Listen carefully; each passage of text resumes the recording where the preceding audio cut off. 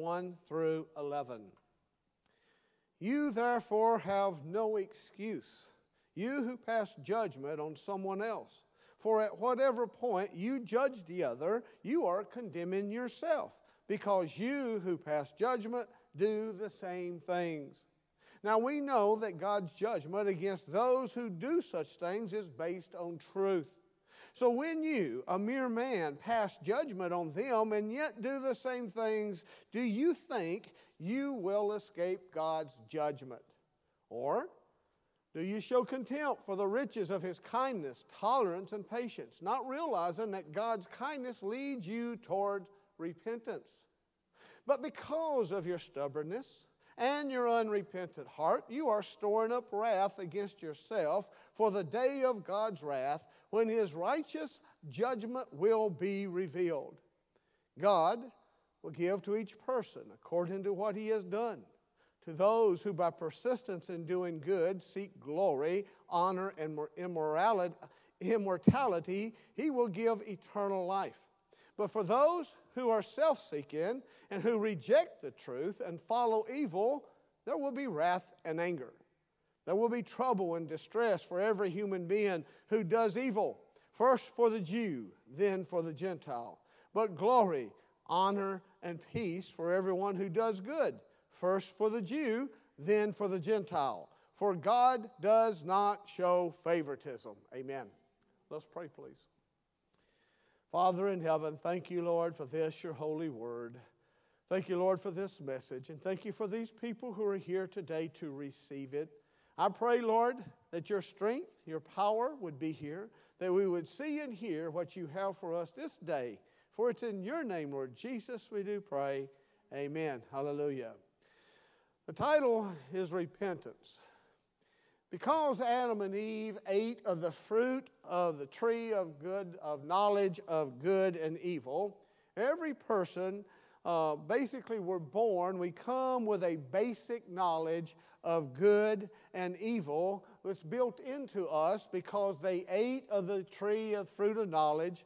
And if it wasn't for that, there would be very little that we could agree upon in society, you know? But because of that, we can agree upon some things. That's why any ethical or moral person would probably very heartily concur with the judgment that God has pronounced on those immoral, evil people who are described in Romans 1 24 through 31. Now, if you remember, I told you to me that is some of the saddest parts of the Bible. This last part of Romans chapter 1 and, and even what we read today, to me, it's a very sad thing about humanity and, and mankind and where we are and what we've done.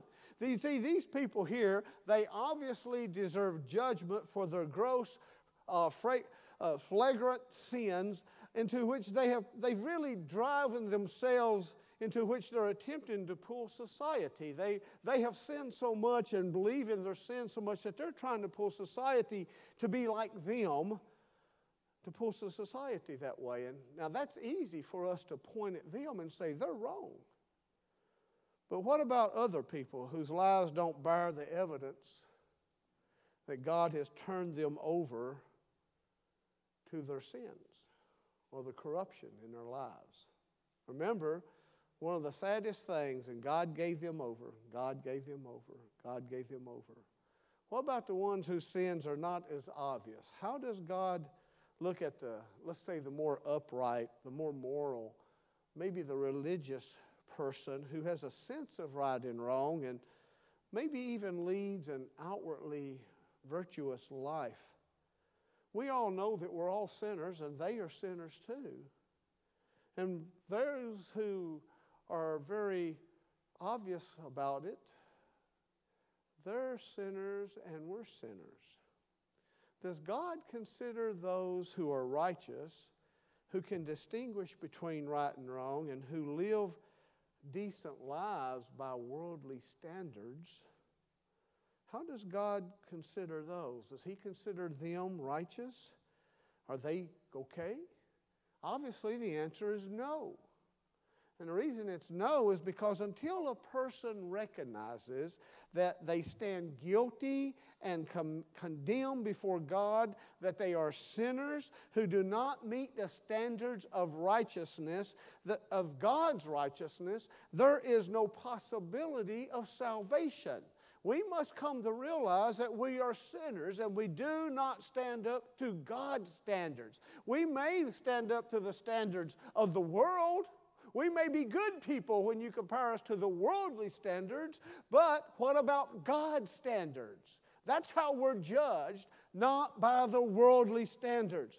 Only repentance, only repentance that causes one to, to try to stop sinning, to sever ourselves, to, to cut ourselves off from sin, and try to live a daily obedient life. Only that can lead to true salvation.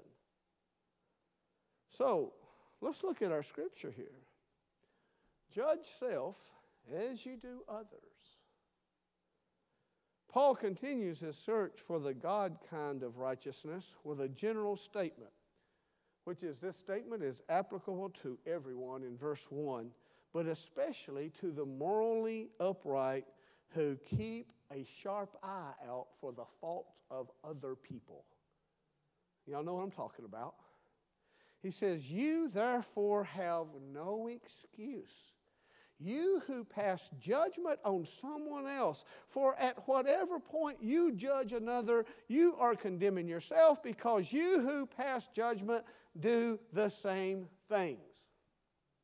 Now, what gets me is it says you, and then it says therefore. And therefore refers to what Paul has just written in the last half of chapter 1. And the you means anyone and everyone who's reading or hearing these words. So here again, he points out that all mankind stands before God without excuse. You are without excuse if you practice any of the sexual or social sins described in chapter 1. Now, those who don't recognize their particular condition or inclination only prove that their mind or thinking has sort of become depraved. And let me explain. If you, I think those are the ones who don't even realize they're sinning. They've gone so far that God has turned them over to their sin. But if you recognize these as sins, as evil, and you condemn yourself because to varying degrees we all practice many of these same sins. Maybe we don't do it to the same degree, maybe we don't do it exactly the same, but we're all sinners, and in many ways, we commit the same sins that we tell other people that they're doing. It's easier to see sin in someone else's life than it is to see the sin in our life. The word judge is to pick out or separate or produce judgment or condemn. The word condemn means to judge down. We need to speak out against sin, but we must do it with a spirit of humility, realizing that many times we are guilty too. Often the sins we notice most clearly in others are the very ones that we commit ourselves. If we look closely at ourselves, we might find that we are committing the same sins, but it's more sociably acceptable. Many times we're committing the same sins that these people that we say are depraved, but we do it to where it's more acceptable, you know, to the world. For example, who person who gossips may be critical of other people who are gossiping about them, right? Even though they gossip. You see, the understanding of divine standards and human shortcomings is emphasized here in verse 2. It says, Now we know that God's judgment against those who do such things is based on truth. Very important part. It's based on truth. You may judge yourself with favoritism, but we know that God does not judge us with favoritism. It's based on truth. The judgment of God rightly or literally is according to truth and be without error and without partiality. When God's judgment is ex- executed on those who indulge themselves in sin, it is based on the truth. So, his judgment's not founded upon mere appearances or pretenses or professions. It's, it's on the truth of the case. And we can't expect God to judge us any other way or any other standard except by the truth. Verse 3 reads the thoughts of man. It says, So when you, a mere human being, pass judgment on them and yet do the same things, do you think you will escape God's judgment? It's a question. The truth that God's judgment is just and will fall upon all who practice evil is so plain that it's really a folly to deny it. Only those who have sought uh, acquittal and forgiveness from God by repentance will escape. Only those who ask for it. Only those who search for it. When someone we know is caught up in some terrible crime or sin, we may, we may show one of these three attributes. First, we can be indifferent, saying it's none of our business, and the victim can solve his own problems the best way he can.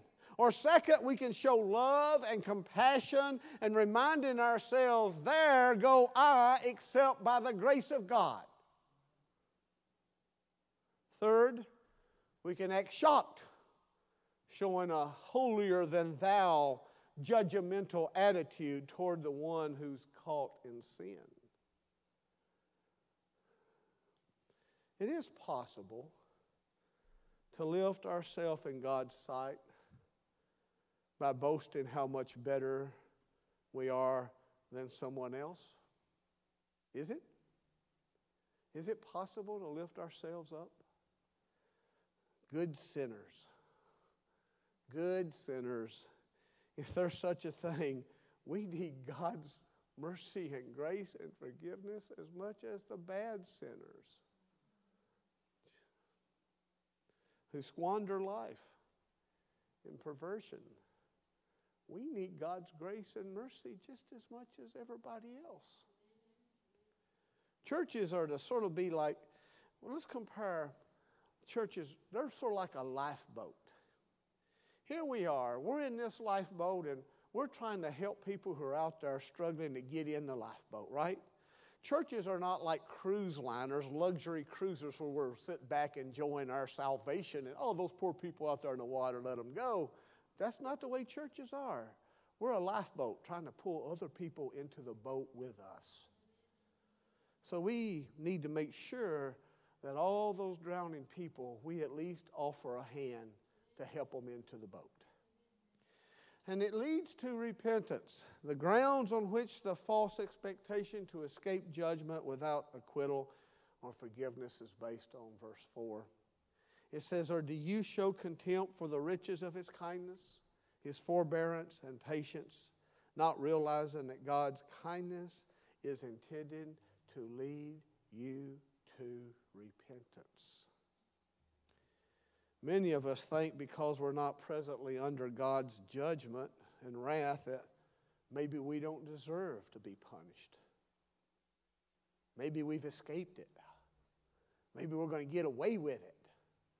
You know, as a kid, I can remember if mom and dad didn't punish me and they forgot, ooh, maybe they forgot. Maybe I'm going to make it. That's not the way it is with God.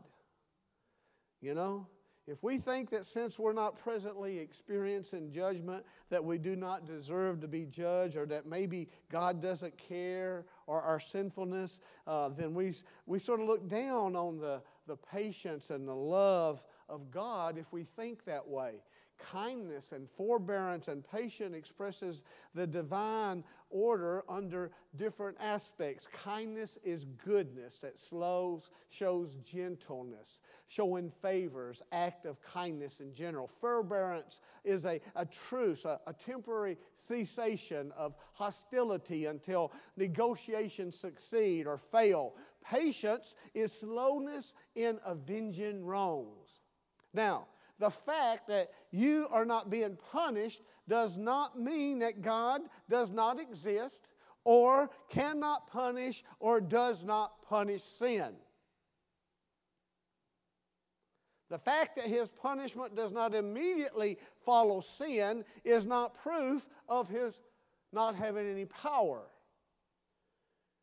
What it is, it's proof of his patience. We deserve punishment all the time for our sins, don't we? But God doesn't punish us immediately, does He? Well, that shows that God is patient with us. We owe our lives, our very lives, to the kindness of God. I've often said, if I was God for a day, we'd all be dead. Because I'd be punishing us left and right, wouldn't you? But God has the patience of God. The kindness of God is designed to bring us to repentance. If it does not, it's our fault. If He is patient with us and doesn't punish us and we don't repent, it's not God's fault. He is patient, it's our fault. We are responsible to know that God's kindness leads to repentance. The kindness of God should make us willing to repent, but it does not force us to repent. Did you notice that? Think about that. Because God is so kind and loving and patient, He doesn't force us to repent. He's not got a whip up say, I'm going to punish you. No, He says, You're sinning. Don't do it. We know He will punish. So, what we should think is, I need to repent of my sins. He withholds our due punishment so we might recognize His kindness and have hope and forgiveness and turn away from our evil ways. Notice that repentance or the change of mind that causes one to change their life is a product of realizing that God who should be judging us is not presently judging, but he's being kind and asking us to come to him so he might change us. Now that's a loving God. Verse 5 attempts to uh, startle the hard hearted out of their self deception. It says, But because of your stubbornness and your unrepentant heart, you are storing up wrath against yourself for the day of God's wrath when his righteous judgment will be revealed. Hmm.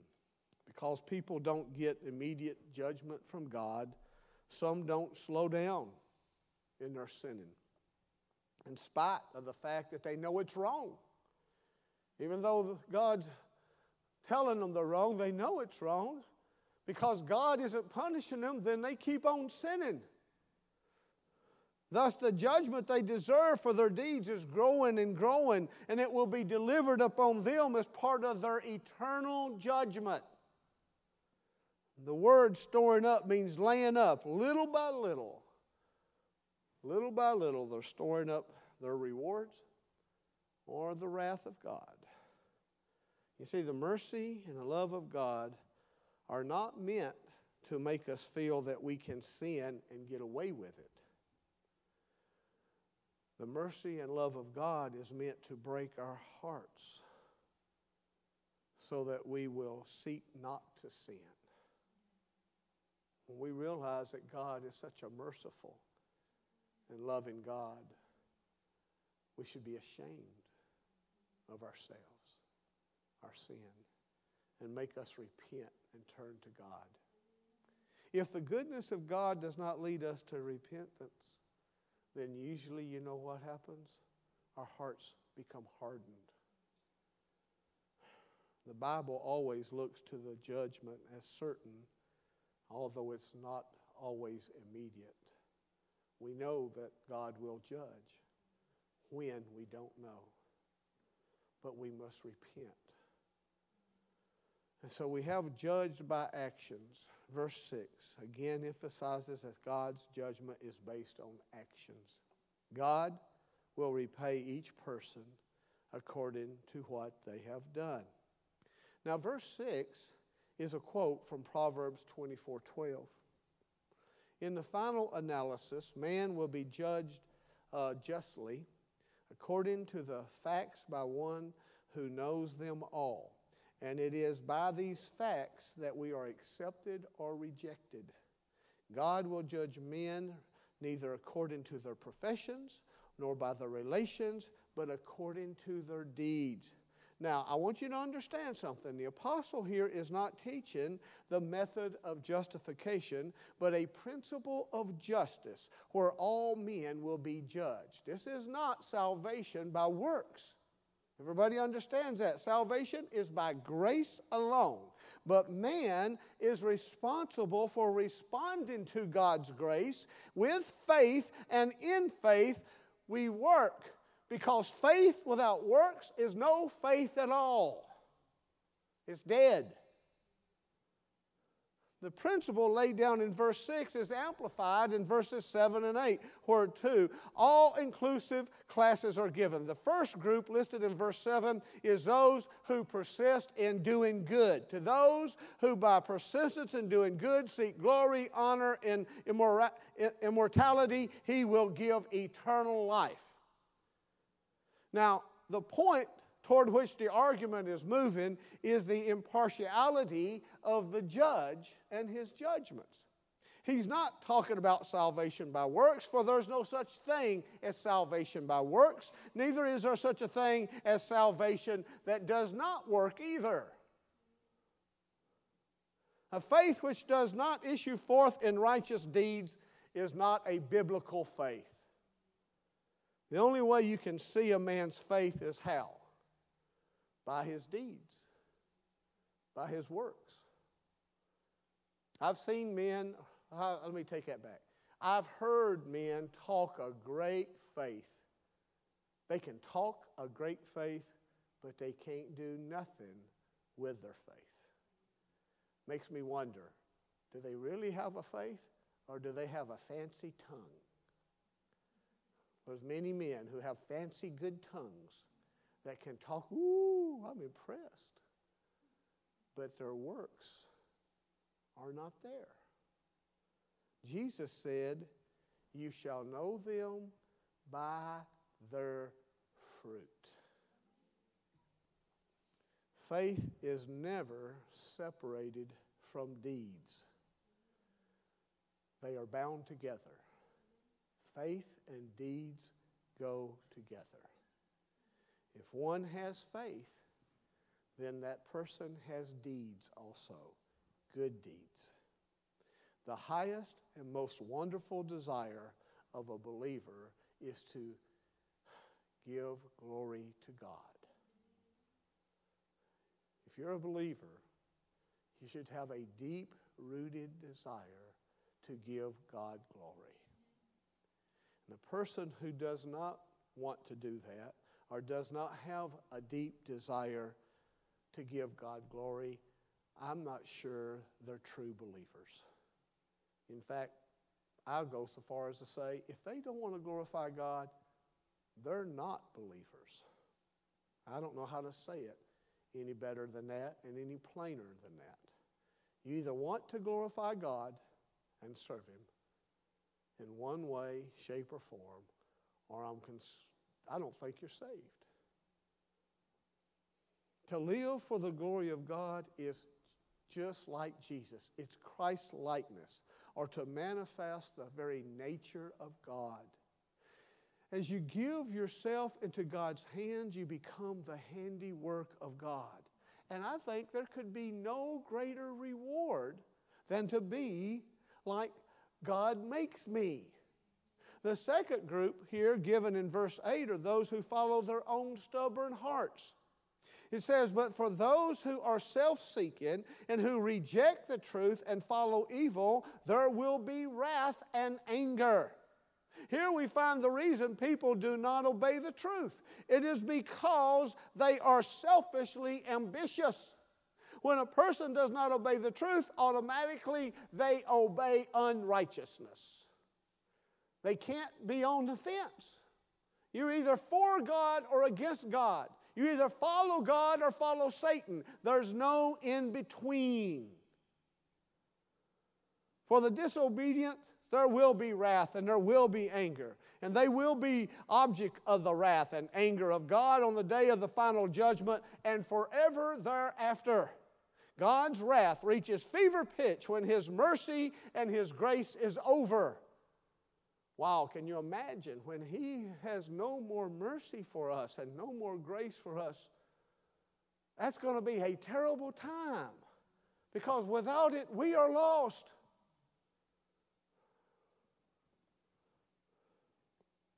An obedient Christian does not live according to his own will or for his own pleasure. He lives according to the will of Christ and for the glory of Christ. Christian seeks to submit himself or herself to Jesus and let Him rule his heart, his conscience, and his life. Now, don't get me wrong, I'm not saying a Christian is perfect. We're not perfect. But we have a desire to follow God. And where we can, which is most of the time, we put Him first. Now, I know that there are times we can't. But most of the time, we can put God first. We choose not to. And you don't have to answer to Pastor Lockwood, but according to God's Word and what I'm reading right here, you're going to answer to God. Pretty plain, pretty simple. Don't blame me, I told you so. When you stand before God, don't you dare say, Pastor Lockwood didn't tell me that. Because I'm telling you now. You will stand before God, He will judge you. And I hope He accepts your excuses, but I don't think He will. Because He's already said, You are without excuse. Then in verses 9 and 10 of our scripture, we have a summary of the two categories of people. First, in verse 9, those who live for self. There will be trouble and distress for every human being who does evil, first for the Jew, then for the Gentile. For the disobedient, there will be outward affliction and inward distress. Judgment shall begin with the Jews, and then it will be extended to the Gentiles. The Jews are first in privilege which means also they're first in responsibility. The second group are those who live for God and His greater glory. In verse 10, it says, But glory, honor, and peace for everyone who does good, first for the Jew, then for the Gentile. The judgment to the disobedient threatens death, meaning eternal separation from God's goodness and glory and blessing. Now, God's promises uh, life to the obedient here. And this is the life of eternal glory, eternal honor, and eternal peace. And God will make certain that the glory and honor that is sought by every man who does good, does good will indeed be his reward. Hallelujah. So, all judged impartially. The main point is the same standard of judgment will be for everyone, as verse 11 states. It says, For God does not show favoritism. When we stand before God, He will not show any favoritism for anybody. The idea is to give consideration to a person because of who he is. That exact idea is seen in the popular symbolic statue of justice of a woman. You've seen this statue of a woman of justice holding the scales. Guess what? She's blindfolded. Why is she blindfolded? She's blindfolded so she can't see who it is. All she knows is the evidence that she hears. God will not favor me. just because I'm a pastor and a preacher. He will show me no favor. I know that. In fact, I think I'm called to a higher responsibility because, in many ways, I am blessed more than you are. I really believe that. And I believe that I will be held to a higher standard. Not, it's just because we are looked at impartially. I, as anyone else, will be judged according to my deeds. God will look at what I have done and what I have not done. And He will judge me according to that. Any doctrine which tends to produce security in sin is false. There is no security in sin. God's judgment is sure. We just don't know when. So, in conclusion, perseverance in God's will is the hallmark of a genuine believer. Without excuse. Brothers and sisters, listen to me. Without excuse. Those who seek God's honor persist in doing good deeds without excuse. The reward will not necessarily be here today or tomorrow, but it may be in and it will be in, etern- in eternity if it hasn't happened already. Likewise, judgment is usually reserved for eternity, not today. And you may say, why? Why does God wait for his judgment and his wrath?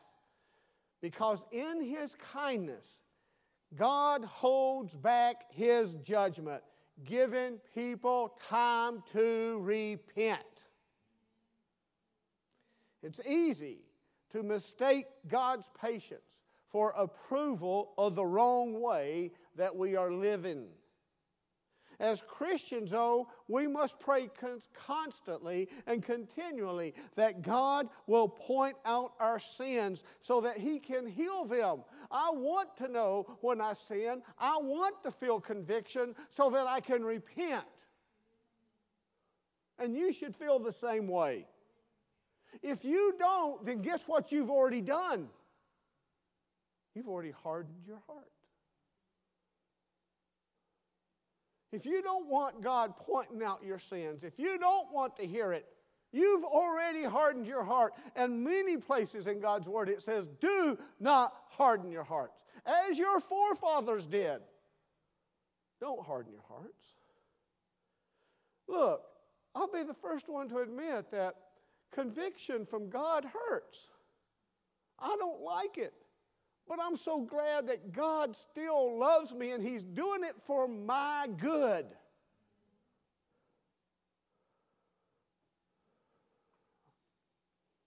Although God does not usually punish us immediately for our sins, His eventual judgment is certain. Someday He will.